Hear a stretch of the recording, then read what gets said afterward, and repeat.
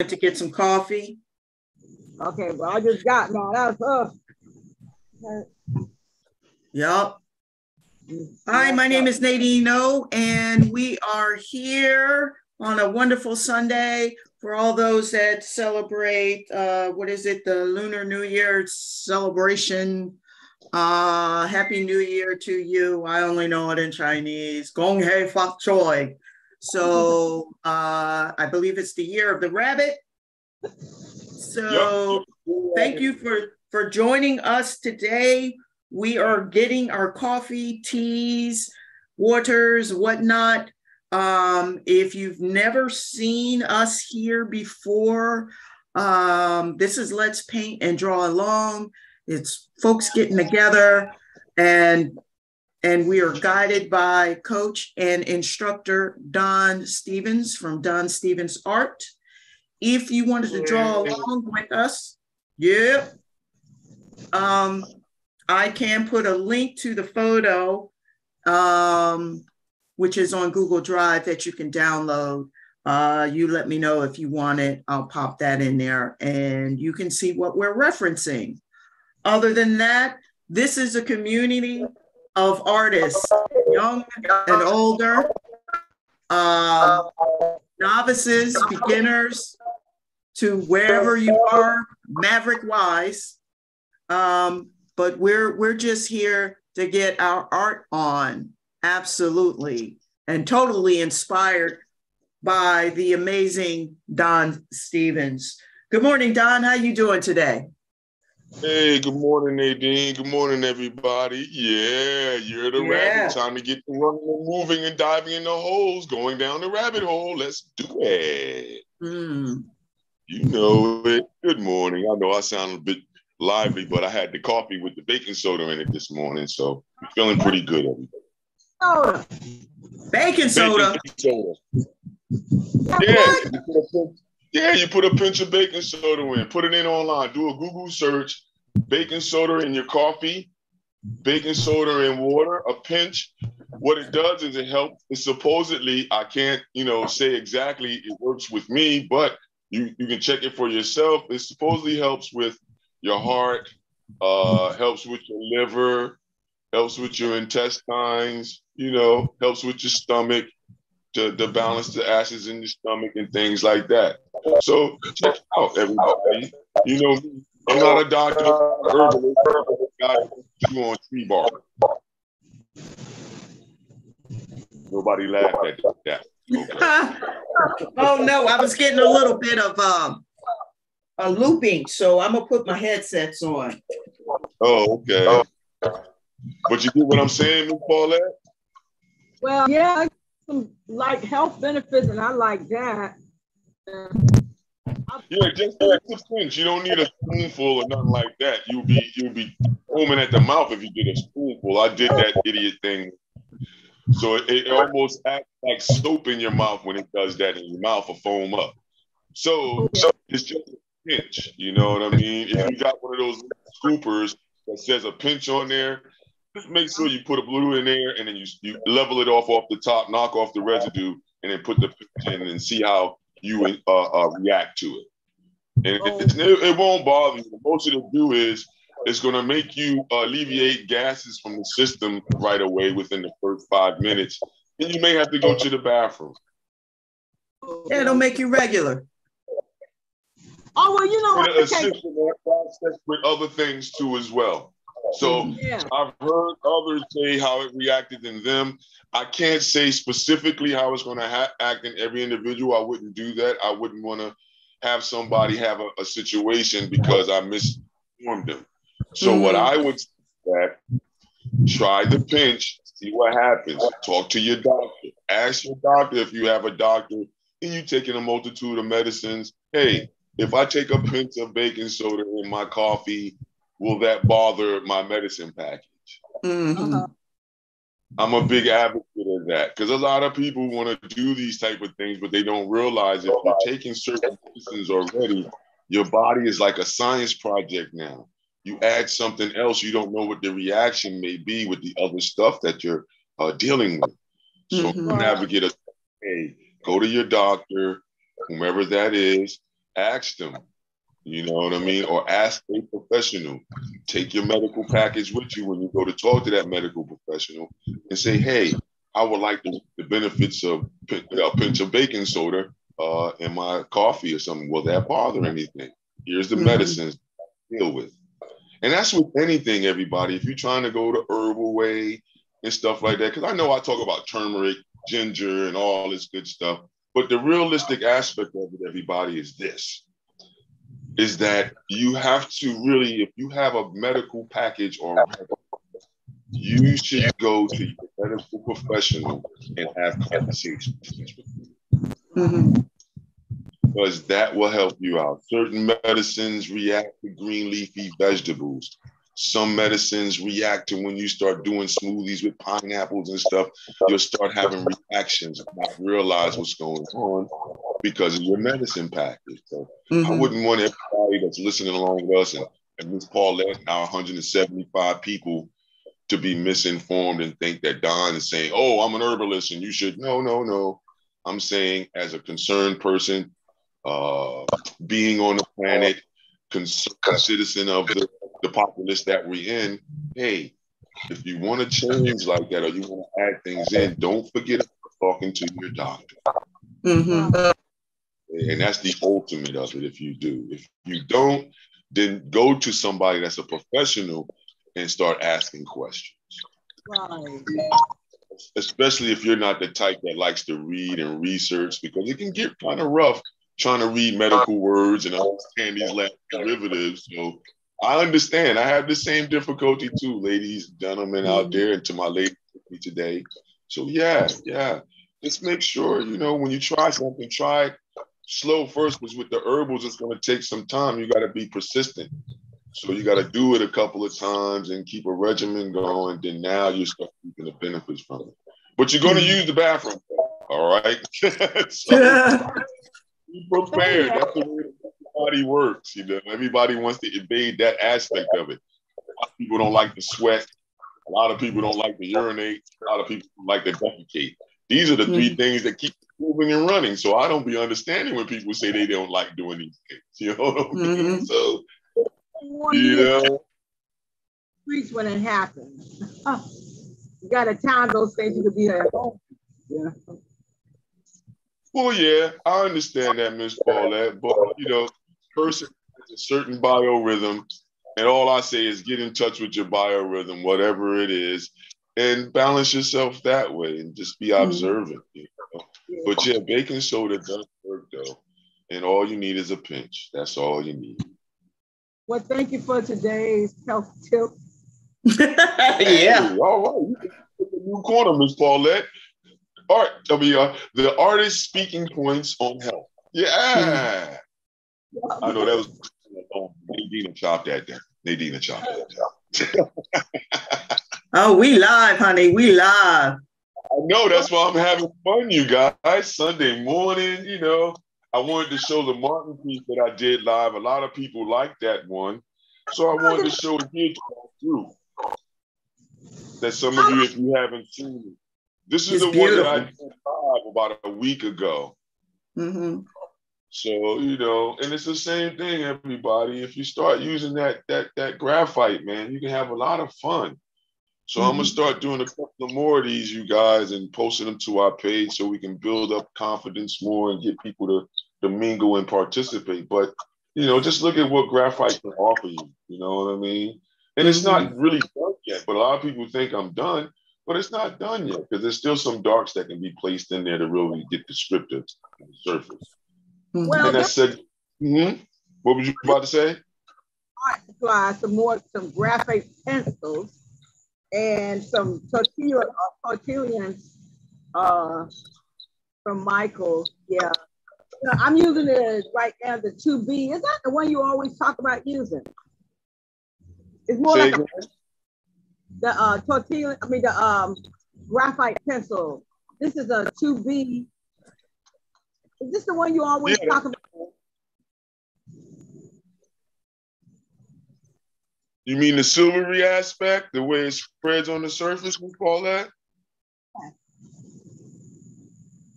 Yeah, it does well, Yeah, that's what that is. That's the difference. And all your working pencils now, your number two pencils, the business pencils and stuff, all of them are either HB or 2B um, graphite material inside of them. Lead you have to get art store now. You got to get lead from a specialty store. You may be able to get a lead pencil. Uh, no, I don't think they do them at Home Depot and Lowe's. So you definitely would have to get that at an art supplier and have oh, it yeah. for. Yeah, I did. I went to Michael's uh, Thursday and bought a couple of more things uh, to add to my collection. One was this, two of these pencils and then some tortillons. Yeah. Did you get a bag of tortillon? What type of deal did they have for the store you went to? Yeah, I got a bag. You got a bag? Cool, cool. Now you get to understand and have fun with those too. I would say, Miss Paulette, get some Ziploc bags and put a couple for charcoal and then put a couple for graphite to separate them. Okay. Okay, and then get you some Ziploc bags, some sandwich bags, and you can put them in there.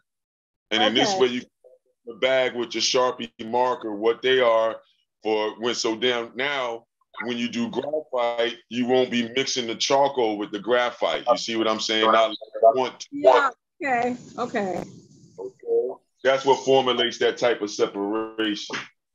Okay. And then you can I'm not saying you can't put them together. It's just that you want to see how they both work separately before you start fusing them together. I'm an advocate of that, you guys.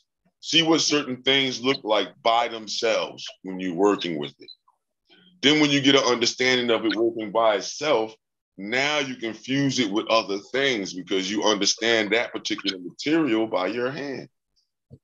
So I'm really a big advocate of, of understanding your materials. You can ask anybody, all the way to the new little guys I got on the weekends now, uh, doing um uh doing uh and clips and comic books. That's what I'm doing with these. Oh, wait till you guys see the pictures of these little guys. Man, they are hyper. I didn't realize kids can be as hyper as me first thing in the morning. Mm. Yeah, yeah. They was like looking at me like, you're not like the other adults. And the kid asked me, I said, Well, what do you mean? He said, You're bright eyed and you're red and you're all this other stuff. I was like, You're right. Yes, I am. so it's just funny to see kids react to you in that way, you know. So you see the piece up, everybody? Yes. Okay, yeah, I'm trying to get the photo up now. So yeah, I'm gonna put the black and white version up for me to look at, and then I also can see the color version too as well. So what you want to do, you guys, is today we're gonna be trying to finalize some and finish up. So as you can see, we're pretty much close to the finish line. It's just that this back panel and the tail underneath here, and probably one or two, you know, eraser marks here and there. I'm happy with my face. What about you guys? Are you happy with the, the face of, of our homie here, Richard the Great? Getting there. Yeah. Okay. See, that's the first thing. You want to feel comfortable with what you've done. You can't compare it to other things and other people. Okay? I, I don't do that with my own artwork because it's going to be what it's going to be. Yeah, sure, you, you may not come close enough to, to how was it say, catching Richard. But as long as you show us that is a dog on the surface, you won. Mm-hmm. You see, that's what, that's what lot of people have to start understanding. And that's what, how would you say, stresses out a lot of people because when everybody comes from the workforce, yeah, I'm gonna preach a bit this morning. When everybody comes from the workforce, everybody, uh, how would you say, the stain of of right and wrong on you so deep that you can't really enjoy retirement. Mm-hmm. One of the areas when you come and you're doing artwork, this helps you to get out of that mode. I've noticed how I'm able to help a lot of people when I do the uh, the elder centers. Each week they come in, they more and more relaxed with the idea of saying, you know what, I don't have to be in control of everything. I only have to be in control of myself and be happy with my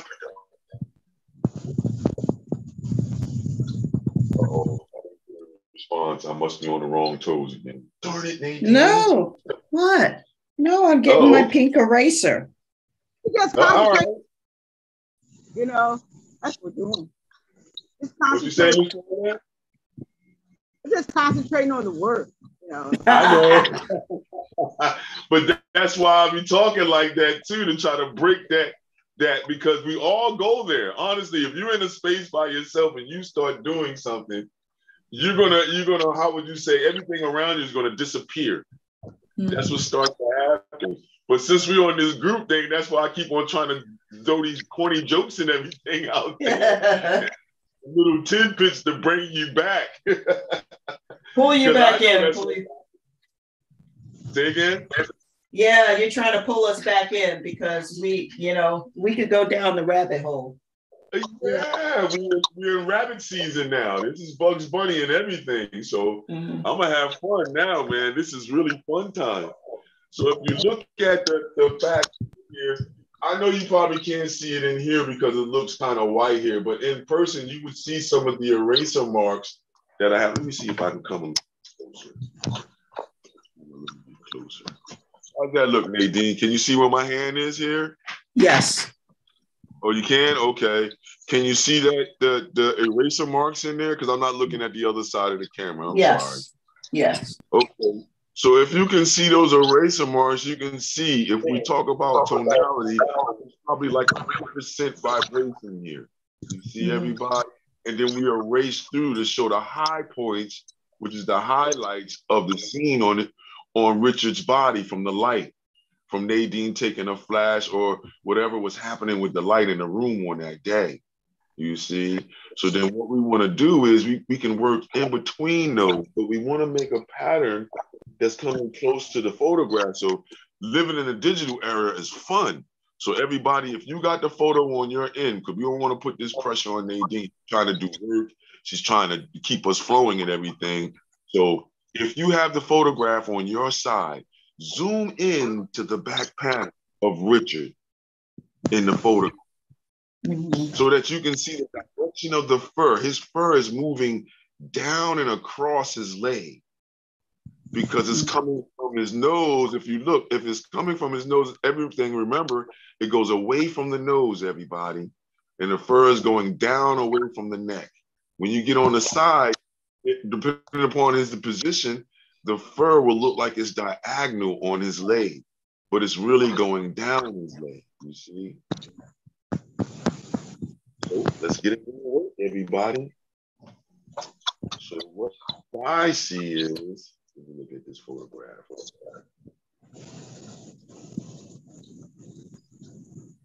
So on my end, everybody, what I'm seeing is there's a darkness underneath here with some of the fur going and flipping out this is the way now that you want to, you know, get in there and, and show us different movements of the darkness, working between some of the lights.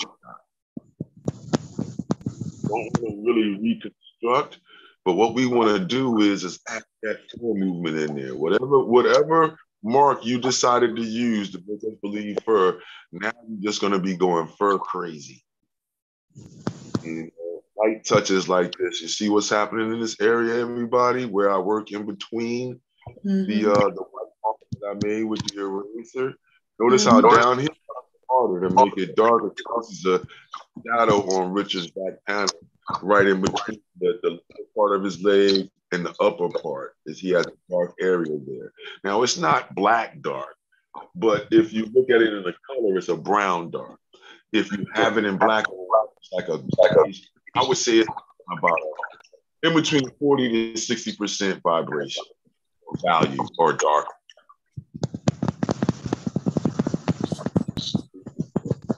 So And then remember everybody, just because we say on here 40, 50%, things like that, it's always a battle to see these values. It's always a battle to see the intensity of colors. It's always the battle to see values and tones. Because Nadine, because your particular situation, you may see more, you may see less. I don't know. We all don't know. Miss Paulette, because of your glasses, I don't know. You may see certain tones. I may, I may not see them. Don't know. But we all see tones. you see what I'm saying? So then that's the whole thing. How are we going to control that to be able to get closer to what we're seeing naturally? That's all. You're just trying to fool the eye. And you see now how I got the tortillon and I'm coming back and moving in the same direction. And now when you're working in between in those lights, now that first start coming out, you see? And if you're moving in that same direction, you're not trying to move and do it all over evenly now. You're working in between those eraser marks that you made to show us the high point. And then now you start in there because it's not like you're not going to come back to reestablish some things once you get some tones in there. You see, this only works if you get some dirt on a page. You got to get dirty, real dirty, everybody. And all our artists that are that are knowing of the material, they know too if they're on the other side. They say, yeah, you got to get that stuff on there if you want that eraser to work because that's why a lot of times I say the um, if you try to use the white chalk in here now, it seems like it's not working. It's like no, it's working. It's just that that's white paper. So for me, I like to use the white chalk on colored paper, black, gray, brown, charcoal brown, uh, tan, like the how the newsprint in the field where the chalk can have interplay too. And then everybody, we just snatching from our old school masters at you see. So you see how it's starting to develop everybody? Mm-hmm. Yeah, starting to develop pretty good. Okay, I can see now. Yeah, that's where you want to be. Yeah. Because now look, underneath here, everybody, I don't know if you noticed, Richard is sitting on his uh, right side paw, which would be left side to us. See that underneath here? If you mm-hmm. zoomed in, Mary, on the photograph as I am, you see you'll see the bottom pads of his feet, of his mm-hmm. paw on the right side underneath. And, and once you see it, it's three little. And what I would do is I would come in and make it a little darker now in certain areas, right? Mm-hmm. Now look, you can use a number two, or you can use the small erasers Another thing you can do is you can cut up an eraser if you needed to. I do that a lot sometimes too. So this time I'm just going to use uh, like a business pencil. I used to go to Burlington County College, so I had got a whole bunch of pencils from BCC College. So all of these pencils have a little eraser on the top. Uh, and I, what I do a lot of times, I use that little eraser right on the tip there.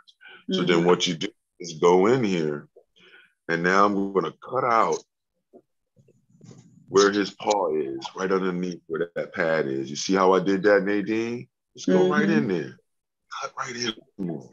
Erase right in the same area. Don't move until you see the white of the page. And as soon as you see it, you can see how that's going to poke out underneath there, the witch's paw. See how I did that, everybody? It's right underneath the pads there. As soon as I erased underneath of the that made the pad of his foot out even more. That goes back to one of our earlier videos, everybody, where we where we explain how if you surround a, a darker area with a light, you make the darker area more intense. If I do mm-hmm. the vice versa and, and, and how would you say surround an area by a certain degree of darkness, it makes the lights jump out more. See that? Yeah. Uh, yeah, Don, I see it. Yeah. Mm-hmm. but then now you can have some fun being a little bit more descriptive with the fur underneath there. You see, working in and around where you had the light areas in there, showing where the underneath of the belly is in there. You see, showing where that darkness happens, and then all of a sudden his body touches the table. Bang. You can show some of the darkness is going up the arm here, in between those eraser marks that you made. See, it's important to know the subtractive idea in there. The subtractive idea is uh, the eraser, the surface that you made to make us believe texture. Know? the more you do it, the more you get connected to it, the more you look for it and you train your eye, you see it more. Okay, Miss Paulette, it's not like you're gonna see it the first time around. You may see it, you may not. And it'll fool your eye, but it'll make you smile and tingle all over when you get it by yourself, honestly. you know, and you're the first person that you have to fool to believe the effect. If you can believe the effect, you know half your audience behind whomever they are, they're going to believe it. Not unless they're aliens and they have another eye somewhere. I don't know. You know what I'm saying? Mm-hmm. y'all, y'all can stop me from cracking these corny jokes, man. I'm having a ball with these corny jokes, man. I hope the video is showing I'm having too much fun, man. I guess that's what it means to get aged with wine. I guess I don't know. I'm just gonna go with it. It's, it's me. I'm. But that's what we do every every Sunday morning, man. You never know yep. what's gonna happen. You know. True that. Uh, next week it Dean that may be cracking the jokes. Maybe me, Miss Paulette that's gonna crack the jokes. Like one time we had, she was going, boy. Yeah. yeah. All right. The part, everybody. The foot here, the bottom leg, just like we did with the front one there. Just like we did with the front paw here, we mm-hmm. expanded it because of the, the fur. The same thing you're gonna have to do with this back one here. You see, so now I would scroll down in my photograph if you have it on the other side with you. Scroll down to where that foot is, and then really look at it and see how you can expand it from here. So what I would do, I would go around and show some of the dark area where I'm going to expand this first, and then I would come back with my eraser and erase out some of these lights that I'm seeing, but identify them like so. Let me see. You guys can see what I'm doing in there close with the pencil around the leg? Mm-hmm. Okay, cool. Thanks, Nadine. You see, all we do is start that same curving idea that we're doing to show how Richard's hair is curling. So then I, I that line going around and say how much more thicker I'm going to make it. See? So then now I can come back with that same eraser that we was having earlier I clean it off with either our sandpaper. Remember, everybody, mm-hmm. sandpaper to wipe your off with, or you can use your cloth. That's why I suggest to everybody wear your old clothes or have an old cloth or old T-shirt would be better. Laying next to you, wipe eraser off on. I wipe my eraser off on my pants, everybody, and you see that light part there. Mm-hmm. That's what we're trying to achieve, so you can have good connection to the surface. Same thing with the pencil. I used this pencil already, but you can see how I wiped them off on my pants. And now we have a cleaner spot for better connection. So now with that being said, now I can go in here, really scrub in that same direction. Scrub, same direction. Notice how it starts to break apart in there. And now we start to feel that fur the way it's curling down over the tabletop for Richard. You see, look, see how I'm moving in there? I'm just mm-hmm. scratching it away. Really, what they call sgraffito, ripping into the surface, tearing it up. Yeah, ripping it back down. You see everybody? So then this way, I'm trying to match the fur quality, the quality that I made in the front. I'm matching that with the same stroke, the same idea of a stroke wrap, the same movement the same manipulation of the material. You see, understanding how it's on the surface, everybody, and how we're doing. Uh-oh. Oh, everybody, I'm sorry. Oh. You got your neighbors? Separate the phone from the other device. So now if I get a phone call, it won't bother oh. everything. Oh. oh. Yeah, we on the internet, man. I'm doing my pop-up Sunday class. Me and Nadine O are doing it right now, man. So if you could, you can go on Facebook and check it out. I won't put you on the spot now. Now, I done got fancy enough. I can separate the phone from the device recording, cousin. You're in trouble. Yep. Yep. All right, don't worry about it. We'll be on till about 12 o'clock, 12 15. Okay, then I'll just do a tapping. All right, bet that. Yeah. All right, you heard Nadine. She, yeah. Heard live. You already Yeah. said you was going to so now you're gonna be recorded, homie. You better tap in, boy. Hey, boy. All right, cuz love you, man. All right. Uh, that's what's up. Yeah, you see, that's what I wanted to start doing, Nadine. Somebody wants to call me, okay, call me. We gonna put you on the spot. You know what I mean? I might Yeah. even put one or two collectors on there and put them on the spot. they bold enough to call me Sunday morning. Say what? You gonna call me Sunday morning about this matter? I'm bringing They, you to they, the family. they're deep. You know, look at Miss Paulette. Miss Paul, tell them to do? You know what I mean? you see, but uh, let's start having more fun every day. That's what I tell everybody.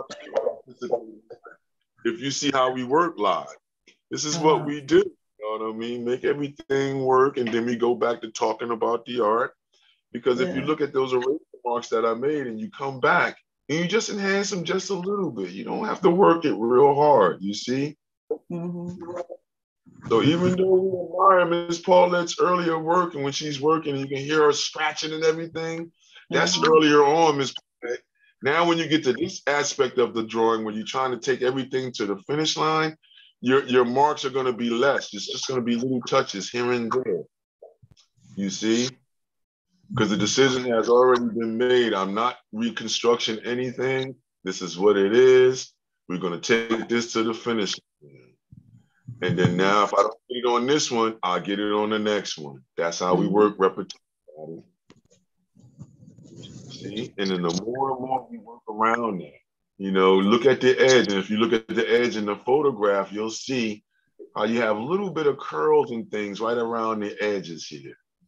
Mhm. That's Richard's fur and how puffy he was, how much he the air was starting to dry him out before he went outside and rolled around grass like they all like to do. Yeah, you see right in here, going with that same idea. You want to use that stroke that you made up to make us believe Richard's fur. Your stroke and my stroke is not going to be the same. Why? Because my hand is not your hand, everybody Mhm.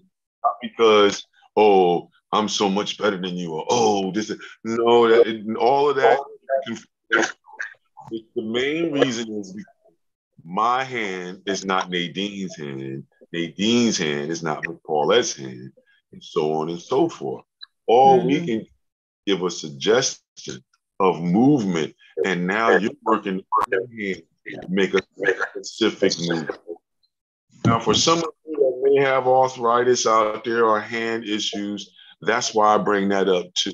Something in my mind told me to say that because I deal with people at the center that have that issue, or they may have had a stroke and the hand freezes up in certain positions like this, everybody, you Mhm. know. So, what I, I get people to put that pencil right there. You see, instead of working upright, they would work flat. So it's always a way to do this to make a mark. And you'll be shocked because if you look at videos of people that done this with their mouths, there's people they didn't have hands and stuff, check out those people. You know, I played a video for a couple of elders like that, and they were shocked at these people. And it was one that was from Philadelphia, a young lady that was from Philadelphia that was changing the baby's pampers and everything with her feet. Mhm.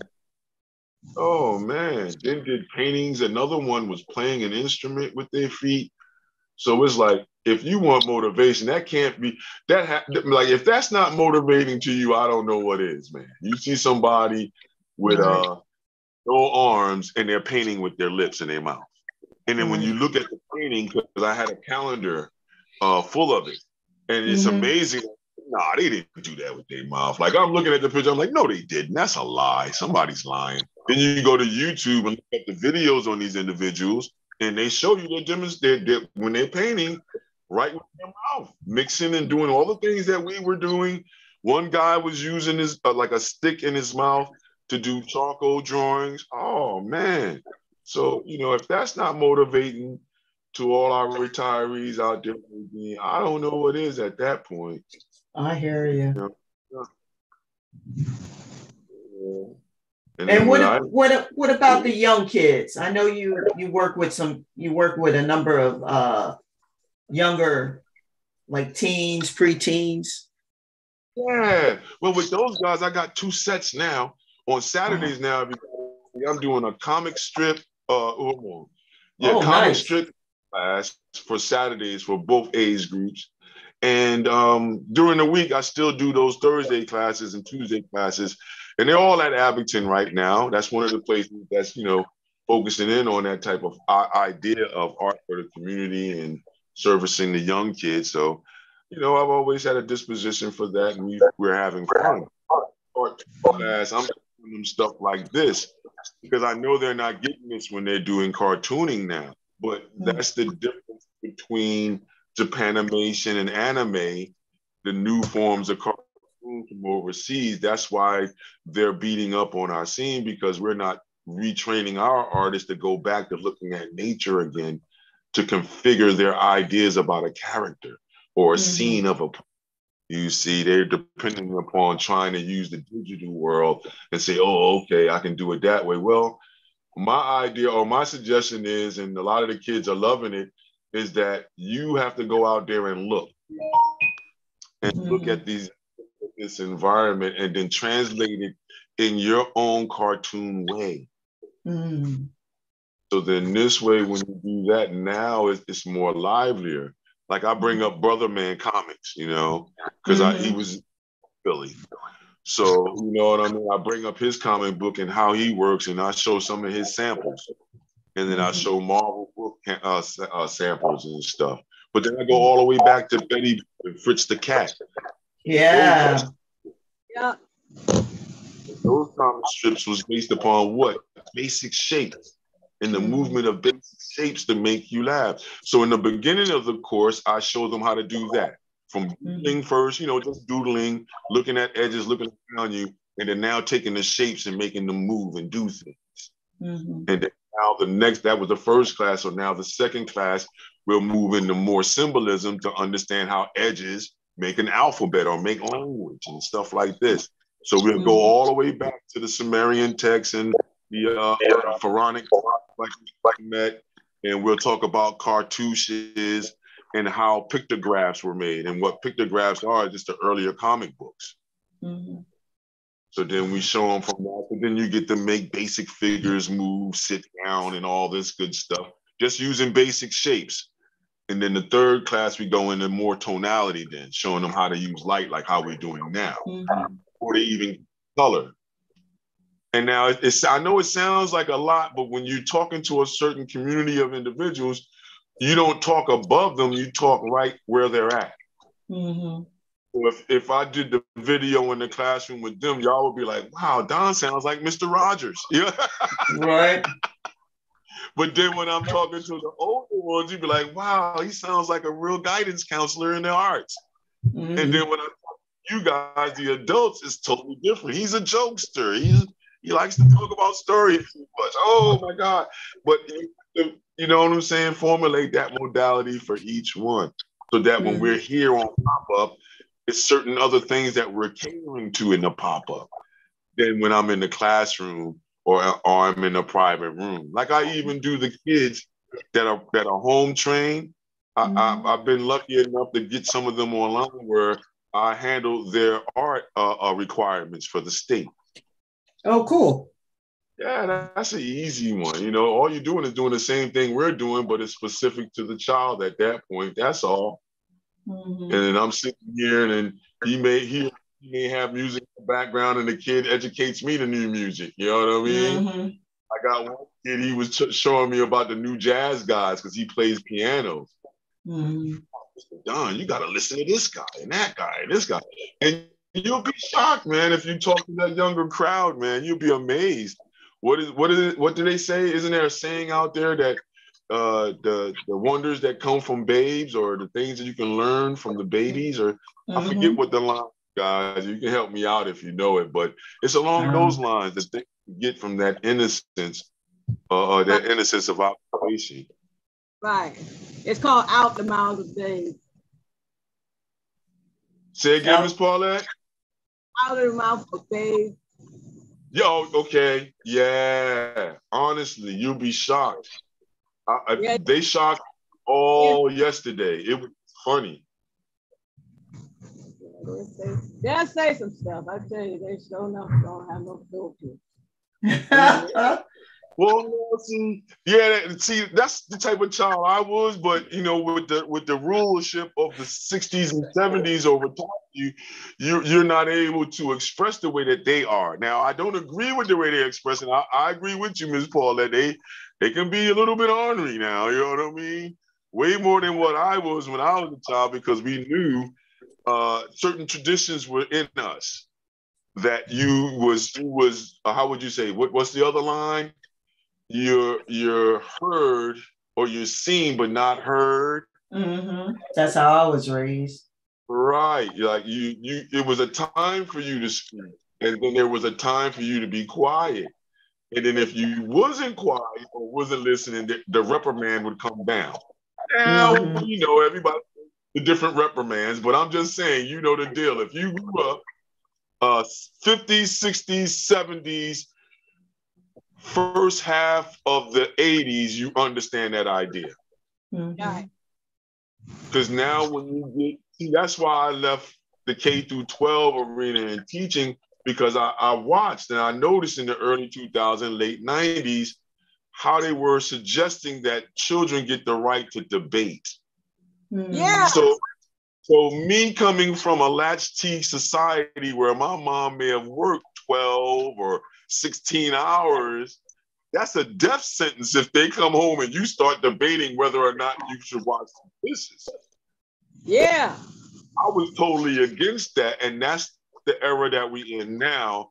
And I can I can really tell you because I was in there and that's why I left it because I was in disagreement with it. A child shouldn't you can talk to your parent, but you don't debate your parent. Mm-hmm. Exactly. Well, arguing with your parents, who are you? Yeah. See, they don't say argue. They, they, they, when we say they, say debate. Mm-hmm. All the words that go around debate, that's what they're associating children with now. It's not mm-hmm. an argument, it's debate. I'm I'm voicing my opinion. I have the right to do so. That's mm-hmm. them on. I said to them when I was in there, I said, hey, if you want to live longer, I don't suggest you do that. I suggest you do that when you see a smile on their face. You know, right around when an adult is eating, they're more mm-hmm. open to debates then. so I was teaching the kids, you do that during dinner time. But see, the tradition is pulled away now because you're not, you don't sit and eat in a group anymore. You run off to your section and you go and eat your your your your spoils. Mm-hmm. You don't really sit at the table and okay, how you feeling? What you went through today? Oh, don't you start that and all of those conversations you would have over a meal. I know me and my mom, it was only us, and that's what would happen. We'd be at the little table in the kitchen looking like a um, Henry Ossawa Tanner, you know what I mean, uh, piece. You know what mm-hmm. I mean? she be sitting on one side, sitting on the other, and we talking about, you know, what she did at work, and then I'm talking about what I had to do in school and everything else. And she's saying, "Hey, you didn't make me look bad," and you know, all these conversations go down during that time. So I noticed that you know the school systems were not doing it. And the reason why I understood it a little bit more because I was in the behavioral sciences. Everybody, so, mm-hmm. so you're seeing adjudicated youth. You're seeing kids that are supposedly behavioral challenged, and you're going to tell that crowd to debate a parent. no. So if they're telling that crowd, I can only imagine what they were telling the kids in the regular public school system classes, what they were getting. And then when I substitute teach in those matters, I got to see it. I'm one of those, I like to see things, you know what I mean? Like, is that really happening? And then you get in there and you see and you go, oh man, it really is. It's mm-hmm. it's it's worse than what I thought, you know what I mean? And that's what generally happens. So I wanted to get out here and do what I'm doing now, privately with people, groups, uh, being more hands-on. So then this way we can have more of a, a, a real debate then. Like with mm-hmm. the kids in the classroom, I debate them all the time. They say mm-hmm. certain things that so erroneous, you'd be like, oh God, who is telling this stuff? You realize they have the internet. So they're able to look and understand certain words. So, and more important, I keep ask them at the end, did you learn anything new? And I'll let you know from uh, 7.9 years old all the way up to 16.9 years old. That's the way they show it on the roster, everybody. It's, mm-hmm. I, I, mm. it's just the, the new things we do, you guys. So I didn't know you had a 0.9 or 0.8 on your age. You know what I mean? Mm-hmm. You know, too funny to me, man. It's starting to generally happen now from that movement that we're doing, everybody. I know that was a lot of conversation we had, everybody. And it seems like it had nothing to do with what we're doing, but it does because you should be able to, you know, do your work and have conversation. You'll mm-hmm. have your time with more private with it. You know what I mean? And go into a trance like how Miss Paulette was earlier and how Nadine was earlier. You know what I mean? You, you almost throw yourself into a self-proclaimed trance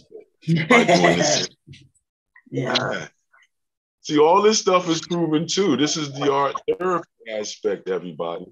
I was in that arena too. I just didn't get the certification because I didn't see the sense in it. If people are willing to hire you because there's so much of that work out there to connect with beings.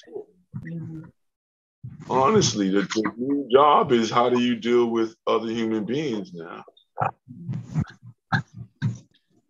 You know, I put it to you this way, you guys. I, I got an opportunity online to take advantage of that uh, professional friend thing online. Whereas you go to this group and you you uh, you'll have people that'll call you just to talk, and oh, wow. y'all all know likes to talk. You know? yeah. That's right up Don's alley. All you want to do is talk, buddy, while I do go down the rabbit hole.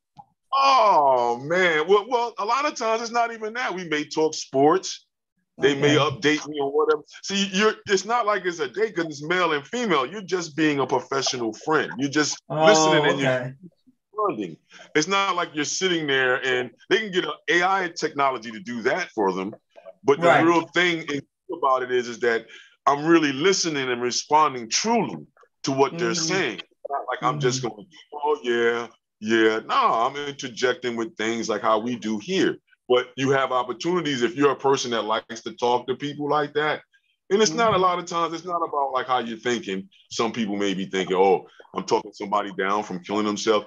No, mainly it's a lot of people that they may have so many things that they're doing, they don't, you know, look at having friends. Mm-hmm. You'll be shocked. There's some people, uh, they just don't want to talk to people because they feel better talking through the computer. It's it's funny like that, but this is where we're at. So if you're mm-hmm. a person like me that likes to talk a lot, perfect job for us. Mm-hmm. you know, I had one person tell me they had that all right, Don, I, I, gotta go. I was like, wow, this is strange. So I got a person that wanted a professional friend to talk, asking me. well, I think uh, I'm ready to go now. Thank you.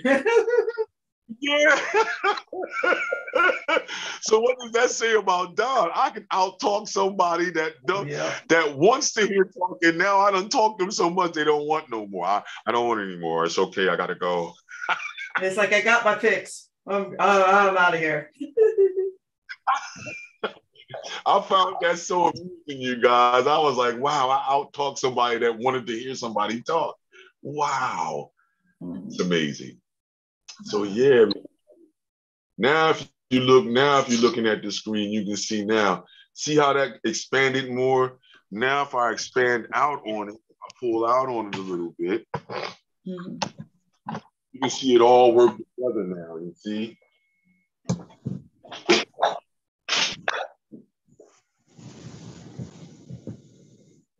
And there we go. How's that looking, everybody?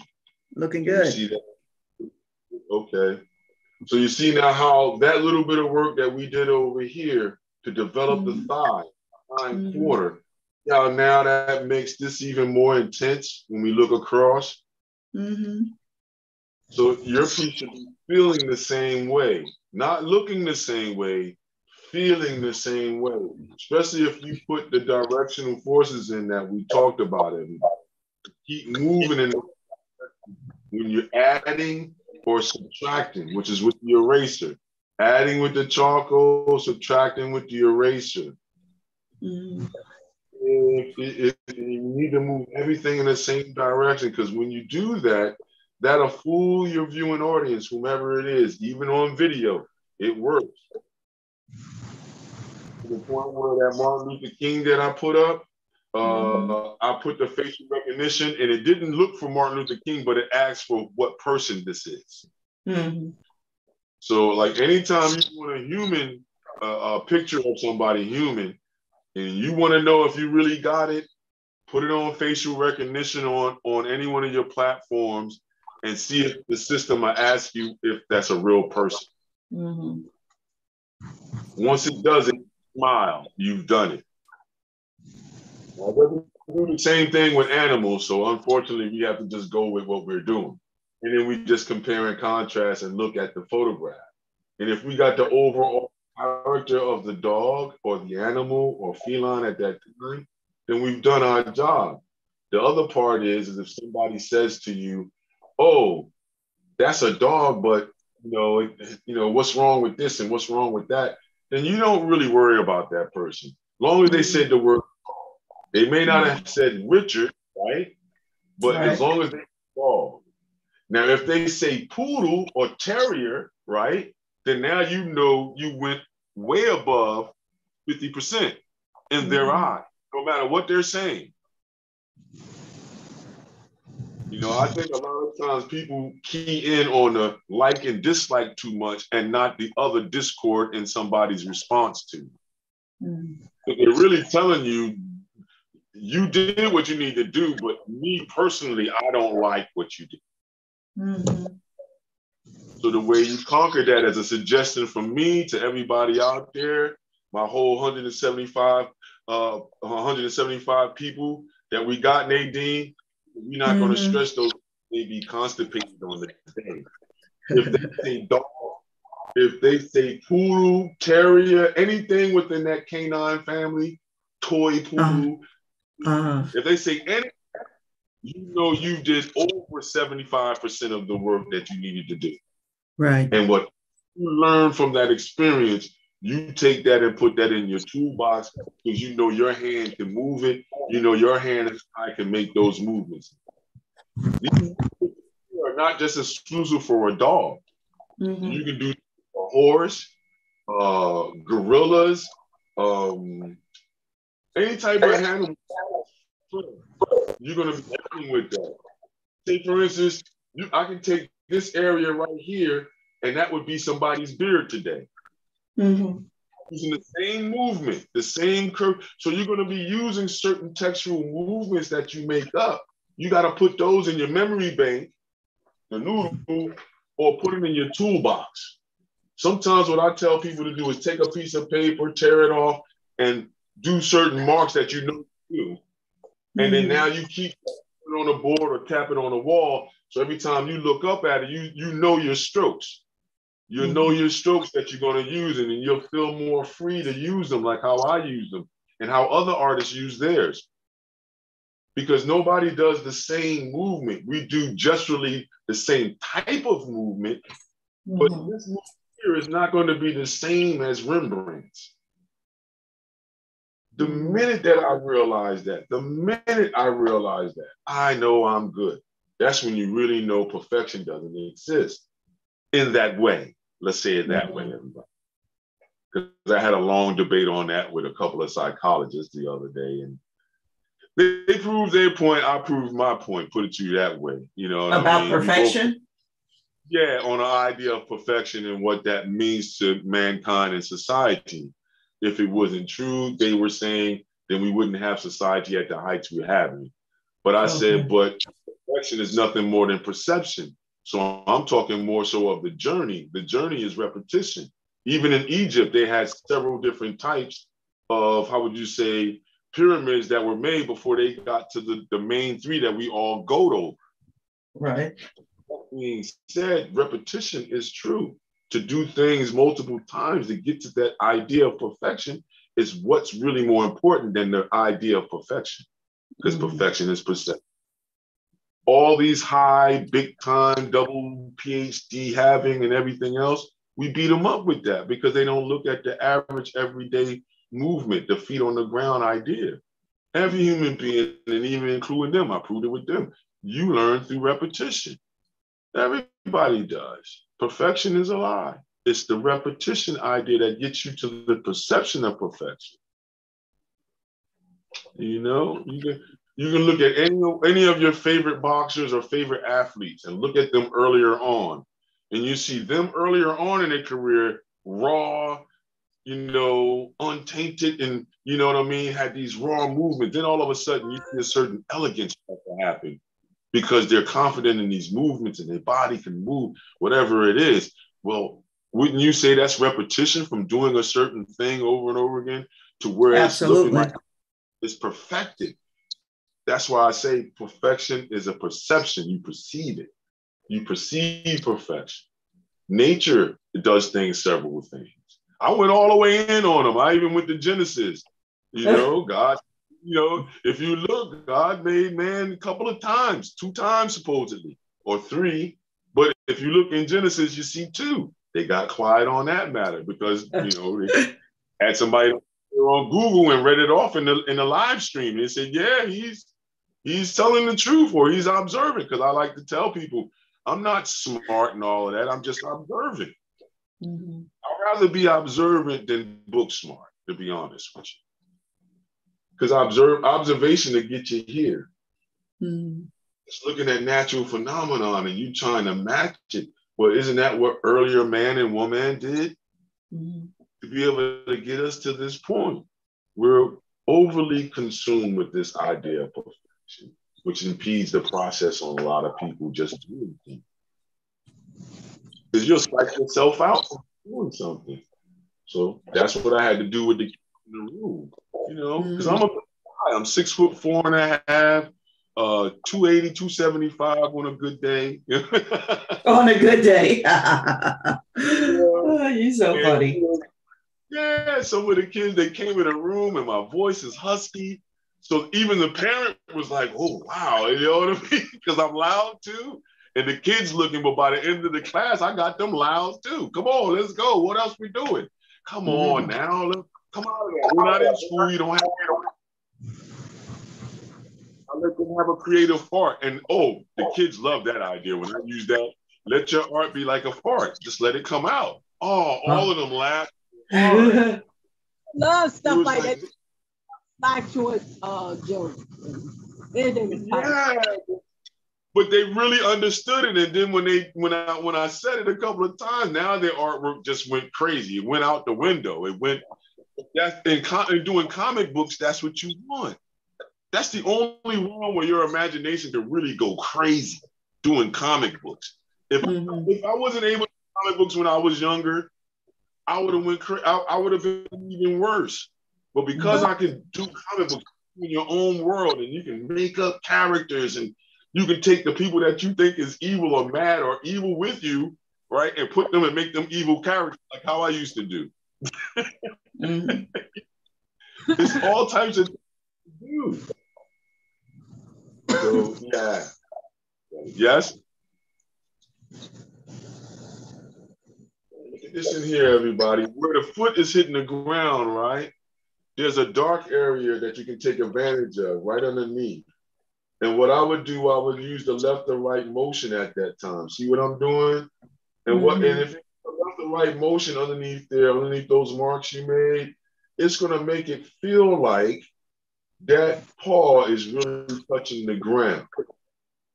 Now I put some stuff underneath of it to show the shadow here. And then now I come back with the tortillon. And then now I do with the tortillon but I use the small side, Miss Paulette, you see? And uh-huh. then we go left or left. Say again.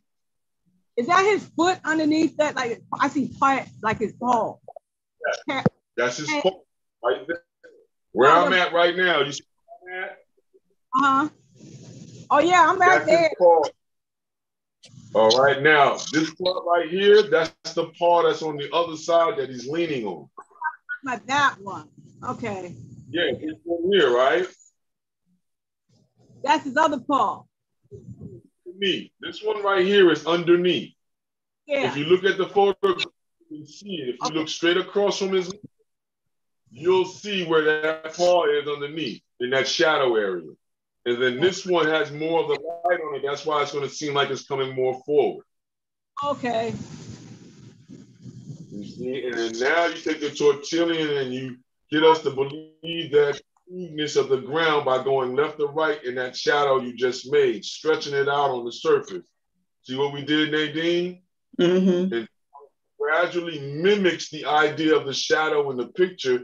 But notice I pulled it out of context just like we did everything else. We're not sitting on. You see, we're not doing that terry cloth. We're just doing a ground, a ground.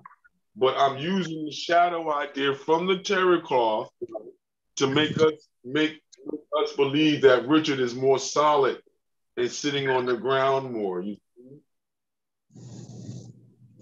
if you notice, he's mostly up off the ground in this area here until you get about right here on the back of that arm. So if we look at the photograph, you can see that, you guys. You see it, everybody else out. there. There's no shadow in that area, see? So the minute that we don't see a, a real shadow in that area or it's real dull like we see, then we know that the, this part of the body is from this point here coming forward. And then re-enhance those movements there with that left or right movement too as well. Soon as you do the left or right motion, it makes it feel like it's more solid, touching and connecting with the ground. Where it's at its darkest point is where two items come together. And if you look on the photograph, you can see wherever his body is touching, there's a dark line there. You see that, everybody? want to mimic that type of observation repeat.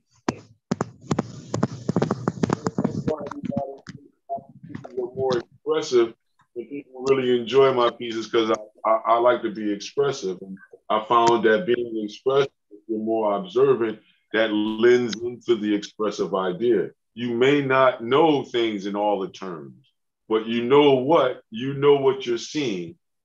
You see, you may not know all the terms and everything else, but you know what you're feeling with that material underneath your fingers. So how could you deny that because you didn't read it as a term? So it's not that I'm against the idea of perfection. Let's put it in the proper place. Let's put it in this. It's the end road. Repetition is everything. Perfection is the inroad.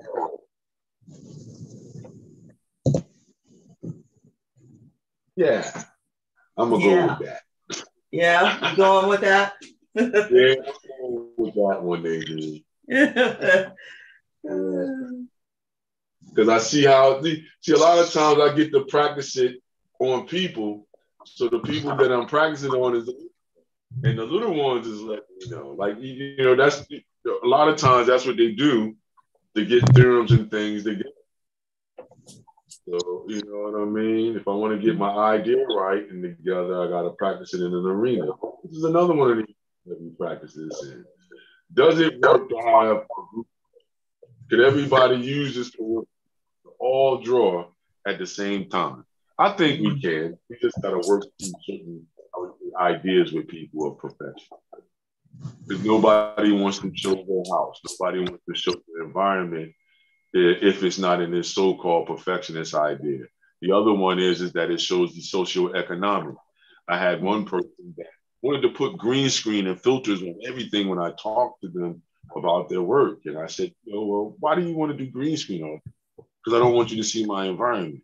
Well, I'm not worried about your environment. I'm worried about the artwork that you're doing. I don't care what you live in, long as you're mm-hmm. safe and important to me putting you in a socioeconomic situation just because I saw a crack in the wall. So, you know, different things. So that's another reason why I think a lot of people don't participate, Nadine, because they may be feeling a certain way about their environment and where they may be. You know what I mean? That yeah. They, I don't want to show that to everybody. But you know, if you haven't noticed everybody, we don't really concern ourselves with that. Mm. You're worried about the artwork supposedly you're doing with us when we're all doing it together from 10 to about 12, 15, 12 o'clock. That's our main mission. The, the relax, release, and just do and have fun. Just let it go. You know, you gotta things that stress you during your day, during your week, during your why not have two hours on the all all we're asking you for is two hours on the end of the week, or some of us look at Sunday as the beginning. So begin your week with us for just two hours. Even if you're just living, some of you go to church, like we have Sue Ann, she goes to church. So we haven't seen her in a while, but every now and then she'll drop in, you know. Mm-hmm. She'll hit us up and say likes and dislikes. So hit us up, everybody, if you watch the video and you're enjoying that aspect. Even if you don't, if you don't show your artwork, just show your appreciation by hitting us up and liking things. Now, some of it's going to be private, some of it may be public. But if you're subscribed and you're part of the 175, we want to 183. Oh, 183. We don't stepped up again, everybody. Yeah. Three of us, everybody. Look at that. Come on, you guys. You know, so participate in that way. You know what I mean? And let's just keep having fun. Perfection is a law. Repetition obviously is the truth. If you look at some of Miss Paulette's artwork that she's been posting, you can definitely see where she's advanced her, her skills and her mm-hmm. observations. Mm-hmm. Yeah. Same thing. If you look at some of you can see the difference from the ones we did last year and the ones we did up to this year you can see the difference in those that are willing to show their artwork. And mm. that's what we're striving for. We're not striving to say, oh, we're right. And we got all the answers for you to be. No, we're not like that. We're over here, Nadine and I are over here saying to you guys, hey, let's have a creative part together. Let's funk the place up. Do you know what. I mean? let's stink it up. Let's stink it up so that they know that somebody creative is there. You know, without and the only thing that we're using the computer for is to connect. Mm-hmm. To get it. We're not using the computer to say, computer, help me draw this. No, we're saying computer, stand on the side, just record our flow and let us go. mm-hmm. Let us do our thing. That's it. You know, of our way, man. Just let us do our thing as human beings do, man. Let us ex- let us express ourselves the way we're supposed to. You know, and then once you do that, look at the beautiful things we can do. We got Richard on there, you see. So now you can want to do the same type of movements again. You're gonna be just be very, uh, how would you say, repetitious with movement now, with your gestural movement it's suggestive, but they call it gestural because it's a lot of different types of to make you believe a certain area. So if you look at the photograph, this part is in focus right here. You can see this dark in front of the tail. So what I would do, I would get in there and use my marks and move in that way that I already suggested, you see, and work in between those light that we made. You see? So then now we can go up into the tail and do like how we did with the foot. So now we show the direction of the fur is going towards the end of the tail now. All of it's going curving towards the end of the tail. See? And I would expand it just a little bit. You see, if, you look at the photograph, the tip of the tail is doing this because the fur is curling out of the tip of the tail. You see? on the side and you do the same thing with your eraser. Remember, everybody, you come in with that eraser. Now, we don't have to show his anal canal because we don't see that, but the fur suggests yeah. where that area is because you can see where the fur is coming, going up and then separating down from there. Obviously, that's where the anal canal is. And we don't have to emphasize that. We don't see that side of Richard. You see? So we can just tell there. Now you come back with your eraser the same way. I'm gonna use the same pencil to show you that you can use the pencil off your working pencils or pencils that you get from different companies and things. Like how I said, I'm a graduate of Burlington County College before it became Burlington County Rowan College. And I was able to get all these pencils because I was in the design department and everything. So being an it, you get that in there. Then plus you know some of the janitorial crew, you know what I mean? And you know some of the other people. Like how uh uh what you call it works there. Josh works in uh Burlington County College. Oh cool. Yeah, my art assistant there. So a lot of times I get a lot of things that way because they may throw out things because they're changing over their system. So he'd be like, yo, I, know you nostalgia freak for your school. Yo, man, I found some old stuff in the basement that they're throwing away. You want it? Oh, yeah, bring it. You know what I mean? Like, I don't have enough space already. Yo, it's a going job I have going. Now you come back reinforce, reinforce. You see, reinforce, reinforce some of those lights that you made in there, and work the darker area in the middle of the text.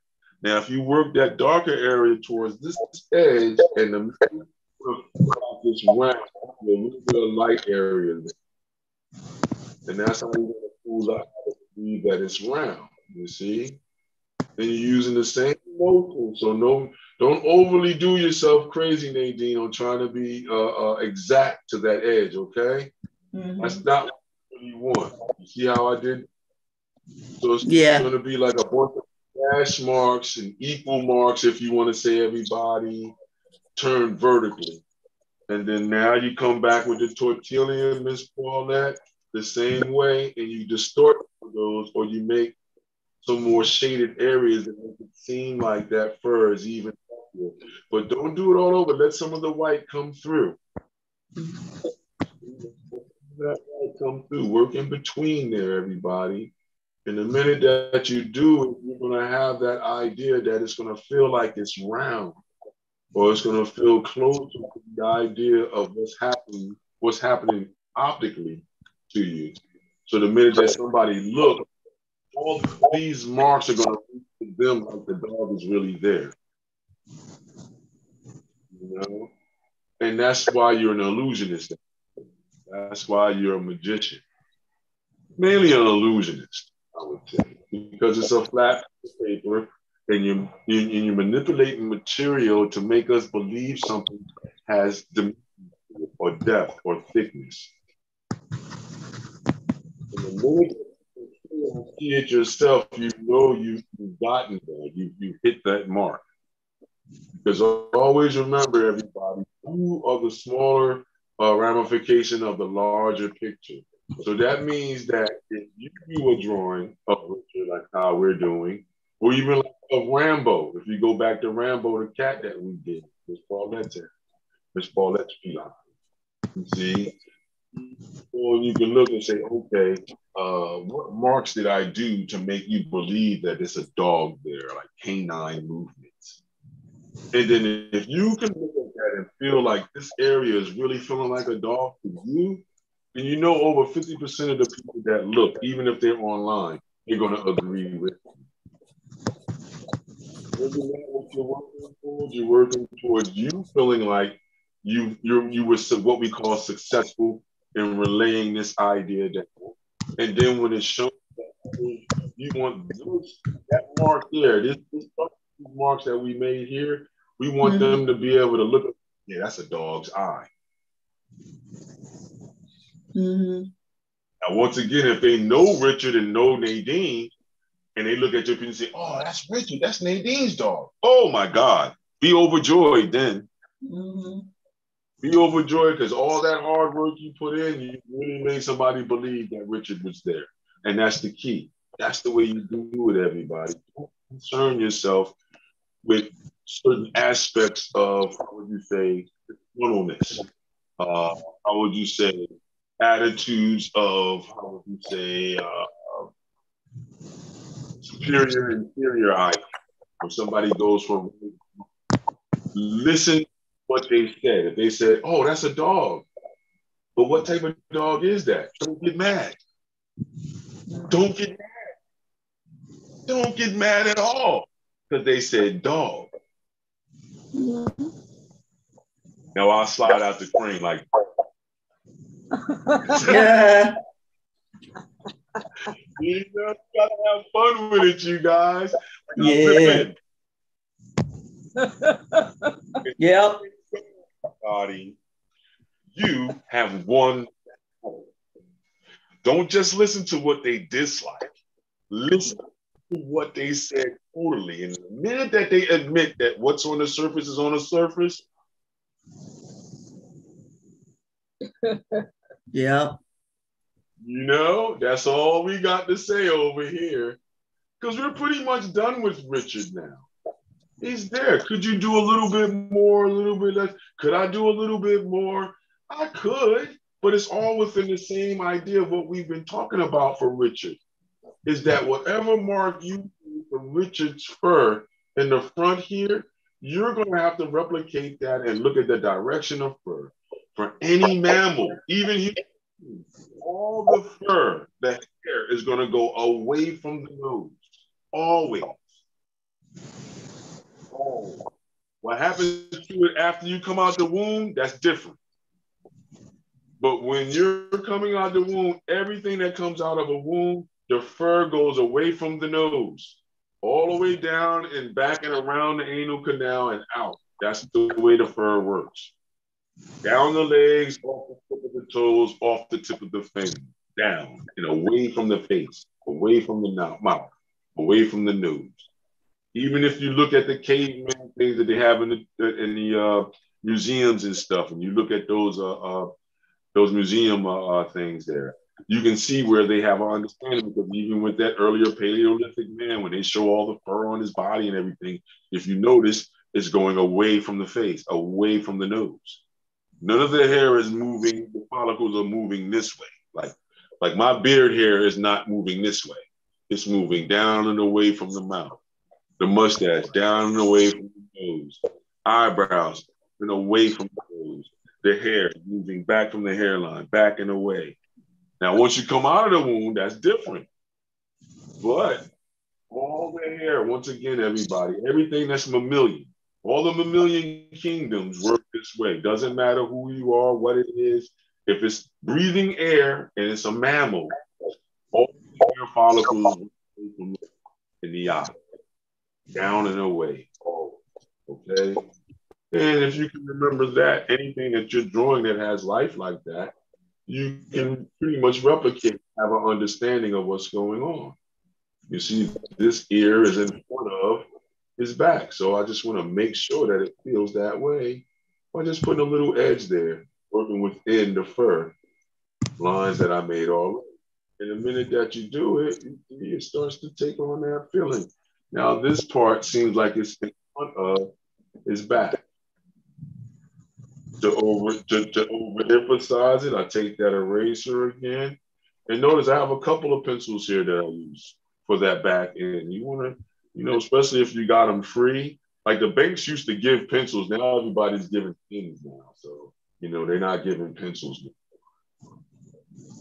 But if you go to like some of the um, construction place, places like paints and things like that. Every now and then they give away pencils because some of the contractors need to make marks on the floor and things like that. So I got a couple of those pencils too from contractors. And they're a little bit thicker, but they're, they, they, you get a lot more pencil for free. So if you ever get a pencil from a company, you to giving them free, you want as many as you can get. I'm being honest. I got a big old gigantic bag back here. If I went into my bins and pull out the bags that I got, y'all be like, "Wow, you really are a hoarder." Yes. If I pan this studio, you guys would be like, "Don, where do you walk at in there, man? That's a large space, and, and you got stuff everywhere. How are you working in there?" I've always worked in chaos like this. I've always had things everywhere even in my room, it wouldn't be all over my room, it would be all over my corner. Where my little art studio was when I was younger. And then so on and so forth. So I don't want you to think my living situation is chaotic. No, I just I just want you to understand that I believe your workspace can be a, a functional, chaotic place. Whereas you just jump in and just something just happens. That's just all the ways I So I've tried to change it, everybody. Lord knows I have. You can ask people that may know me. They say, yeah, he's tried, but it only works best when he has it all in that chaotic junk type of way, but it's organization within chaos. So you may look at it as a mess, but I'm looking over there and say, oh, okay, well, there go my pencils, there go certain rags that I use. So don't front. All of you guys front too. I know Miss Paulette does it. Oh, Nadine, you can't tell me you don't. I, I'm not even saying anything. like Don, don't pull me into this. You know, that's you telling all that, man. Yeah. Nadine didn't say a thing, man. yeah. So hey, everybody, if you're feeling good and you think you're done, normally what I do is I'll find some place to sign, and a lot of times I'm I'm signing right here in the lower right hand corner. I don't put dates because I like to build timeless. Everybody, you can put dates if you choose to. Sometimes if I do put a date, put it as a bonus on the back side and put some type of note of how I was feeling when I did. It. A lot of times, if you're into selling the artwork and making your own brand, that's what a lot of times people look for. I've noticed when you look at antiquing road uh, road shows and things like that, they'll turn the piece around to see if there's any special notations on it, and you should see how you see how people react when they have a special from the artist on the back that was unknown. When I saw that, I was like, wow. Well, I don't know if people will ever collect my work one day, but that would be cool to put notes on the back for people to just bump into and see the time frame on the back rather than on the front.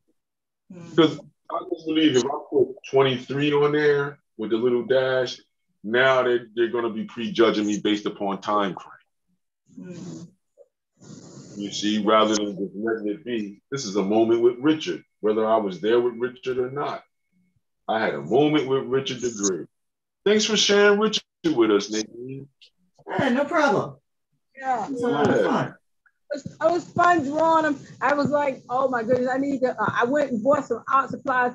Now I want to ask Don, Don, where you get that white chalk from? I have two different types of chalk, and it's not like working like yours, like where it's actually highlighted, you know, so the fur don't, um, you know, so my. Okay. Miss Paulette, I'm gonna pull out one or two and read them off to you what what brands they are. Okay. I had I had two different brands that I was using for when we talk about the white chalk pencils. Yeah. One is General's company charcoal white, and the number of that particular one that they have is five five eight. Five, five, so it's charcoal white, charcoal white General's charcoal white number five five eight. Then okay. another company that I had, huh? Oh, that's okay. Now this other company is a specialty that's that's in um, a store up here called Artisans and Crafters. You may be able to find these in the art stores down around you if you have a Dick Blick or something like that down you. One is near it's from a company in Austria. And okay. they call it white chalk Wisick Reed. I'm on that. We have a nomenclature for number one or five, which from Austria. So I would go with the general if I was you, because it's closer to the white chalkboard chalk I use when I use those. When you see this chalk here that I'm using, uh-huh. that's that old white chalk that you can get, Crayola. Yeah. A box of their white, not the one for the floor now, the one for the chalkboard. Okay, because I, I got some right here, but it, it's ooh, can't see it, but it's flat, you know. Uh, as far as you know, it don't present itself like it's bright as yours. And then I got this charcoal pencil right here, white charcoal pencil, but it, it's still kind of hard, you know, so it still don't that, that's why you gotta have the sandpaper, Miss Paulette. You use the sandpaper to break the wax that's in there. See, the way the oh. pencils are made is a little bit of a wax or gum, what they call gum arabic in there to keep it solid and solidified. And then sometimes what happens is, is that that chalk doesn't break down very well on certain surfaces. A lot of times it breaks down better on the uh, rougher surface than the smooth. The way to get it to break off is to use the sandpaper Okay. and to break it down that way, and then you'll be able to use it like how because that's what I'm doing on my end. I'm Okay. using go to the dollar store and get this sandpaper right here all that. Okay. I got something that's kind of harder than uh. P60. 60, that means that's the grade of how much sand per inch is on this. Okay. So some of you have a grit a little bit more than that. That means it's finer. So the higher the number, a lot of times the, the, the more fine the sandpaper is. You want the finest sandpaper or semi-coarse paper, which will be like a 60, sometimes 80 grade. Things like that will be good for you to use with your pencils to bring points back in your erasers. Because you don't want to use the rougher ones. The rougher ones is going to make you exasperate your materials more. Okay. You see, but you want finer grades so it doesn't really rip into your materials and break it down that much. You just wanted to break the, the layer of the material, Miss Paulette. Okay. Okay. All right. Tortillon, you put a tortillon in an electric sharpener would be better if you wanted to uh, bring the tip back to Uh-huh. your uh, tortilla. You can do is you can put. I would use an electric sharpener before I use a hand. So you can put that pencil in the, the sharpener, and I mean uh, that paper tortilla in the sharpener, and you'll get a nice back on it. Okay. Okay, and that's the way it works. I do the same thing here. The, the tortillon and put it through the sharpener, and, and I'm able to use it again and let it get dirty until the tip wears down again. So that's why I work on the tortillon. Okay, and what by that I'll show that too as well. Hold on. When we talk about working on the side tortillon, I mean this side here, the sides here, Miss Paulette, Nadine. Mhm. Mhm. You see how mine, now, I've had these for a couple of years, and you see how my tip is still there Mhm. because I Uh-huh. the sides of it. That's why you see the sides of it is all black. Not this area here where my thumb is, right from where the tip of my, my thumb is up to the tip of the, the apparatus. You see it's all Uh-huh. evenly done. That's what I'm using. Oh. You see, so now when I go up into like up into like Richard's eyes and stuff, you see how this point from and see how that point fits right in that area. Mhm. That's why you put it on your tortillon. if you Oh. the point it it really works for you even more, and you can really get a lot of you know usage out of it. You see. Oh. Now I'm looking at my piece. Uh, it, it, the only other thing I would do to my piece is see this area over here, ladies, behind Mhm. Richard. I would put a Mhm. little bit more of a darkness there, so then this way we can see more of Richard. Those those eraser marks are, are come out more if I put a little bit more tone back here in this area right here. Mhm. Yeah. So what I'll do real quick is just put that in real quick while we're talking, ladies, because we're pretty much done. This is a done deal, ladies and gentlemen, and everybody online. Today we're done with Richard. I'm happy with the way Richard looks with me. I got him. Never even met Richard. I just met him with camera when he jumped in every now and then. Yeah. Just like we, that, that's how we met um, um Rambo. Remember? Right? Rambo would, would, would pop in. In front of Paulette's piece. oh He was yeah, like, oh boy, she was like, he was on today. Yeah. yeah. All right. You see how I just did that real quick? I used the side of the pencil, everybody. You see? Mhm. See what mark is, Nadine? Mhm. That's how you know I was using the side of the pencil to put that tone in. See? And now I will come back with a paper towel. Or you can have that chamois, that Kamos cloth. You know, Mhm. C A M O S, Kamos cloth. It feels like a piece of. almost like leather, almost suede leather. Yeah, yeah. But you can go to the uh now you can go to the dollar store and, and go to the automotive department to mm. get that. See? Yeah, you can you can do that. What happens is in the automotive department, that's what they use to shine and buff cars with. Mm-hmm. So you want to get that same microfiber cloth, what they call a chamois, right? For shining a car and, and drying off a car. You mm-hmm. want to get you can cut it into cubes. And then now you'll have a, a, a, a chamois cloth or a chamois for smudging all the time. Because that's what I used to do when I was in school to cheat the cost. Mm-hmm. And then I used to do that with a group of friends. We would just buy a bunch of that material now, that microfiber material, go to a fabric store then and buy a big piece of it and then cut it all up. And then we all had a piece to use. Mm-hmm. And that makes it cheaper. So now you see what I'm talking about? See I, was, I brought the tone down over here? And see how now that light area wants to come forward more? Mm-hmm.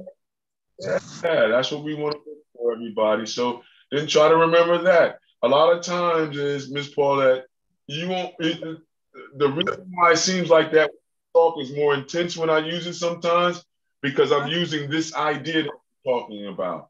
I may surround that light area with a dark area that's going to force your eye to believe that that's brighter than what it is. Okay.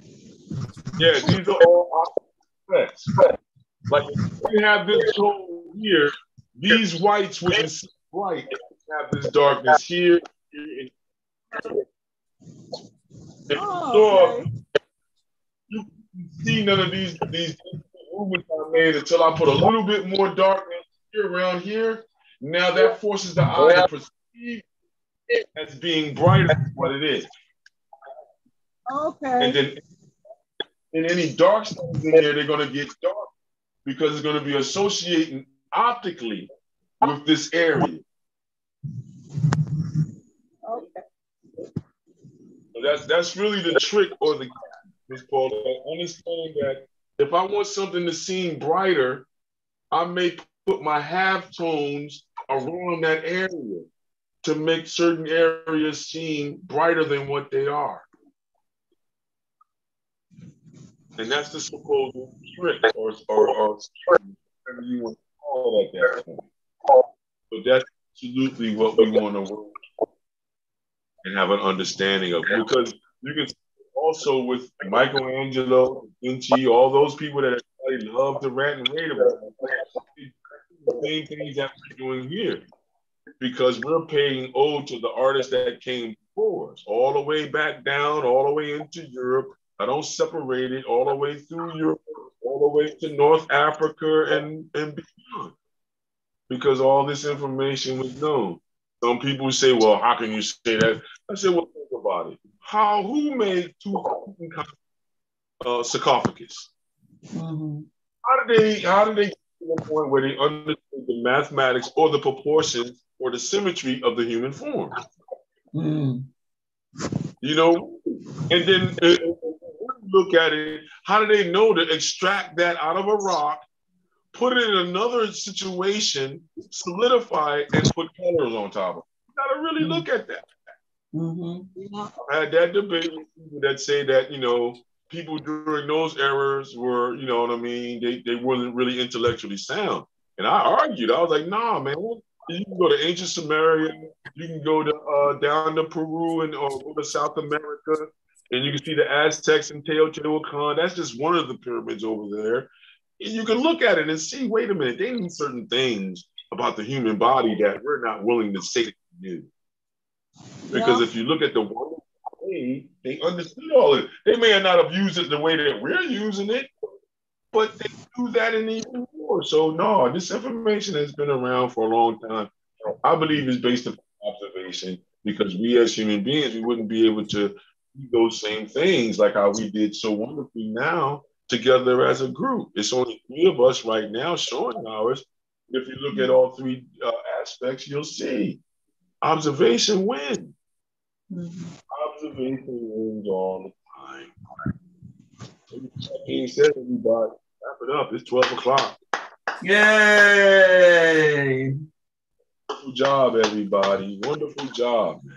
Wonderful job, Miss Paulette. Thank you. That was fun.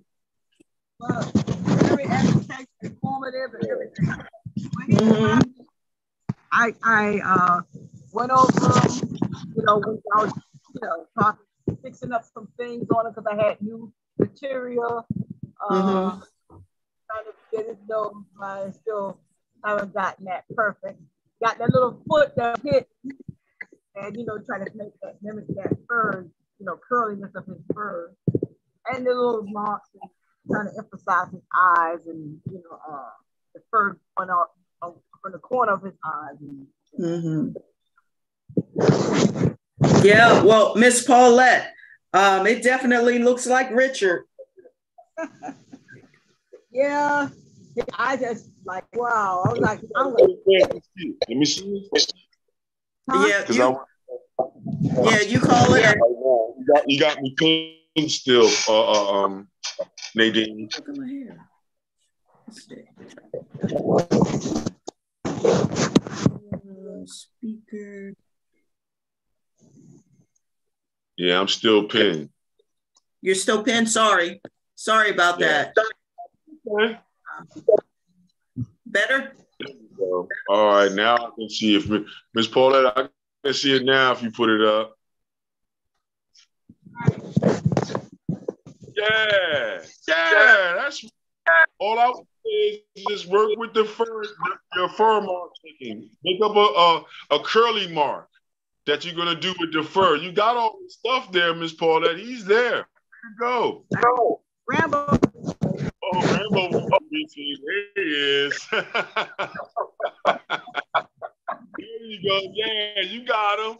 You got him now. Like how you saying, just work on your fur idea. Yeah. That's all. And then you got him. Yeah. Yeah. I told you, Miss Paulette, you're gonna be doing more than what you thought you can do, man. I told you. I can't see that book when you get started, man. Yeah. So yeah, got that. Uh, Check you out, Nadine. okay. Hey, what- what's up, man? What's, what's Hey, going on? I woke Look him up. it all. He was not happy. I see yours, Nadine. This is a shake, uh, Richard. This this is what you want him. Uh, Richard is when he was shaved, right? Like uh. he Yeah, I had to trim him down. He was getting too thick. Here, come here, Uh, Richard. Take your sweater off. Looks like him though. You got him, Nadine. You got him. You got him look, with yours. look at him. You can see the white chalk is on yours. okay. Look at. Oh, look at. Oh man, look at this guy. So you saying work work the what white chalk in? Yeah, just a little bit at a time. Just touch it in, in the light areas. You see what's happening? Yeah. So in some of the areas, get it all the way in. Okay. All right. He said, "I want to see my." I woke him up. Look at he is not happy. Yeah. But you oh, see how the white went in? Huh? See his the way white paw? went in? Yeah. That's what See you want in there when you use the chalk a little bit. Don't worry about making his fur white. Just act like it's the white light coming across the scene. It'll work better Okay, for use the chalk for the light. That's it. Yeah. There's a couple of marks how you did with the, with the with, it- with it over his eye. Okay. Yeah, because there's some good. right in here. Yeah. You know. So So don't think you over the graphite. You won't go over the graphite. You're working inside the eraser mark areas now. okay. There you, you see what I'm saying? Yes. Got it. It's just a here and there. You don't have to put a lot, just a couple here and there. All And then right. you'll see. All right. Mm-hmm. Way to go. We got Richard. Everybody got Richard. So way to go, everybody. Yay, Richard. Yay. Oh, oh, look at this. Look, now, now. Oh. Yeah. Yep. The minds, everybody, to show you the extra idea. What's what that? I do with that we do, you guys. Mhm. I have sheets, uh, I would say plastic sheets that are uh, 18 by 24. The size Oh, of the paper that Yeah, where did what was the name of the sheets again? these are clear sheets. Clear UV uh, tint sheets. You see, Uh-huh. the place Okay. that you can get these is called clearbags.com. Clear bags. Yes, clear bags, C L E A R B A G S dot com. Okay. It's a company that's in North Jersey, I believe, and they have other franchise throughout the, the country. But they send you clear bags like this for your artwork and different things like that, you see. And then uh, it has it's a resealable bag, so it has that plastic on the top, you see, of a, Oh, of a okay. tape and on top. So I close this off once I put it in there. So Mhm. to show you, I'm gonna take this other one that I got here. This is another one that I got. So I'm gonna take this one, put it in the plastic so you can see. Okay. Okay. Yeah. Oh, yeah. And so while Don's doing that, uh here, while Don's doing that, here's the website. Clear clearbags.com. Yep. Okay. And they have 10% off right now. Yeah, they got Oh, man. They cool. always have sales, you guys. That's why I use that company a lot. They always have different sales. Okay. Now, also, it's bags for a lot of different things now. You can get bags for your books when you get them. You Yep. can get bags for anything. You see the package bags that they have there. Yeah. So you, A through Z, if you need a bag for anything, you can get it there. What I use mine for, how I just did here. You see? Hold on. Oh no, no, no, no problem. Wait a But that's the web, Okay. everybody. That's Now show it again. Okay, nice. Oh, flip that around. That looks good, Don. I like this Mhm. one. yeah. What's that? That was another live one I did, but I wanted to show you how it's in the plastic manila. Okay. So now that Uh-huh. plastic is protective, you see? mm-hmm. And now I can take it and show it different places if I want. I've taped these up on the wall when I've gone places to show the artwork, to show what we do in our classes. And then I sell them too. So I said, All yeah, I've had people ask when I've shown them out places, people were like, oh, are those for sale or are those just for instruction? I said, no, the instruction are down. down. You can have it if Mhm. how that works. And then you can put them in frames with 18 by 24. So then what you can do if you're 18 by 24 or eight and a half by 11 or 11 by 17, those Mhm. are standard sizes. You can find frames and bags easily. Mhm. So that's why I'm an advocate of those sizes. Now, if you go outside those sizes, can you get bags for that?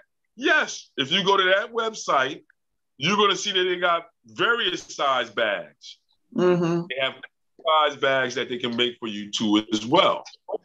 So Mhm. yeah, you can have a custom bag, which is going to cost you a little bit more. It's just going to cost a little bit more to have a custom bag, everybody. You know? So that's one of the companies I use to get bags. You can put in a search for that, and then other to come up. So Mhm. that's, that's one of the ones that I use that makes it easier. You can open an account there, and you can just reorder the same bags over and over again. And they give discounts and all of that, like how you saw on the screen. Thanks for that, Nadine.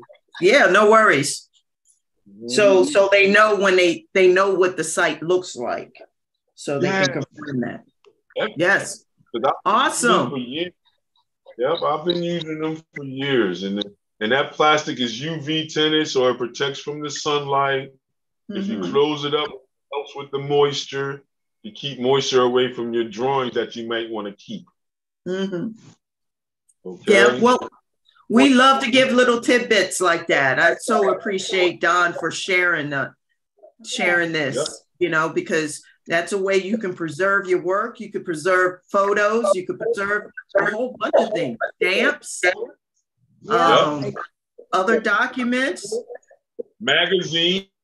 Mag- magazines, if you collect magazines or stuff like that. So, yeah. Have that you may still have some people in our age group may still have Polaroids and stuff from back in the day. Buy yeah. some of these Jones and you can protect them. Mm-hmm. Yeah. Mm-hmm. All the way down to like you know, postcard size too. They have postcard size bags you can buy too. Mm-hmm. Oh. Now, uh, Don, when we put that in there, do do we need to cover uh, or coat the uh, the paper with anything before we do that? No, you don't have to, but the, the, most that you could do is use the workable fixative idea that we talked about earlier on, whether it be the hairspray or the actual Krylon workable uh, fixative. Mm-hmm. Mm-hmm. So okay. You, you, the cheapest one to go with is the hairspray, you know, just for hair, alphabet, stuff like that. That's going to help to keep that on the surface. So bag won't smear around in the bag a whole bunch if you move it around a lot. But mm-hmm. you can put the bag untreated, it still hold up. That's what, I, that's what I do. So something like the last one I just put in the bag now in front of you guys, I didn't mm-hmm. spray that one. But okay. I didn't, I didn't put a lot of material on the surface. Okay. So a lot of times with the charcoal and the white chalk, that's where the problem is because if you spray the white chalk, all the white goes down now. The blue for the white going to go down, you're going to have to put more on the surface to bring it back. Mm-hmm. Same thing with pastel. So I myself, I don't spray the ones with the white chalk or pastel. Okay. I only, I only the uh, uh, color pencils, white charcoal by itself, not charcoal with the white chalk by itself, and we good. Okay. you can do it with, you can spray with sepia. Sepia, that's different. That's a wax. Now you okay. can spray. Okay. You see, but if we're not using the white sepia crown, and using white chalk, then I wouldn't spray. Okay. And one more. Two types you can use. You have the cross workable fixative that we get from the art store. And then you have where you can go to the dollar store, Walmart, or any supermarket and get like Aqua Net, uh, just for hair with not an oil, a hair spray. Mm-hmm. And not a mousse, and not a spritz, a hairspray. Got it. These are definitely helpful tip, tidbits for for budding artists, uh, novices, mavericks, whatever. Don, he's he's dropping the knowledge. Don, thank you so much. Yeah. We do appreciate all that you bring. Yep, we knock it out of the ballpark. I mean, it's all about you know, farting out some art. there you go. That's it. There, there you go. Yeah, I love that name. You just made my day saying like that. Yeah. Yeah. All right, everybody. It is that time. We hope to see you again next week. Um, it's been a great time. Happy New Year for all the Asian folks that celebrate the lunar uh, calendar uh, the year of the rabbit, I believe. So everyone yes. enjoy yourself. Thank you, Miss Paulette, for joining us live. We much appreciate you and all that you do to support this journey of inspiring others to do what, Don? Keep creating. Keep creating. Yay. Keep creating, everybody. Keep creating. All righty. Thanks, thanks everybody for joining us. Um, and don't forget, leave your comments in